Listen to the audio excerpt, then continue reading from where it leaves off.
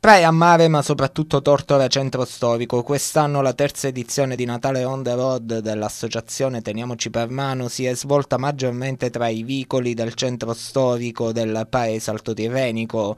Aiutati dai componenti della protezione civile gruppo locale di Tortora, i ragazzi diversamente abili seguiti dalla Onlus fondata da Franca Parise hanno dispensato pacchi regalo ad anziani e ad allettati, emozioni che l'associazione ha voluto immortalare in queste immagini che ci ha donato e che testimoniano l'apprezzamento di chi soffre verso iniziative del genere. Manifestazioni, ha detto la Parise, che andrebbero svolte più spesso perché al di là dei pacchi regalo che hanno un valore per lo più simbolico, ciò che davvero lascia sbalorditi i tanti cui abbiamo fatto visita è l'attenzione verso di loro.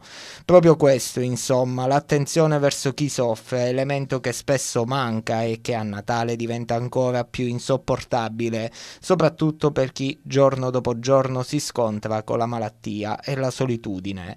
E allora basta poco, un pacco, un po' di musica, un po' di calore umano e tanta buona volontà. La volontà non solo degli organizzatori, ma anche di questi ragazzi diversamente abili che tante volte la società mette all'angolo, ma che però capiscono e reagiscono. E le lacrime di gioia scivolate ieri pomeriggio lungo lungo i visi dei diversamente abili e dei cosiddetti normali hanno avuto lo stesso sapore, a testimonianza che il Signore nasce ogni giorno nei cuori di chi sa commuoversi davanti alla fragilità dell'altro e proprio da qui spicca il volo, la solidarietà, cosa ben diversa dalla pietà. L'associazione Teniamoci per mano ha anche voluto ringraziare l'assessore alle politiche sociali di Tortora Anna Fondacaro per la collaborazione dimostrata.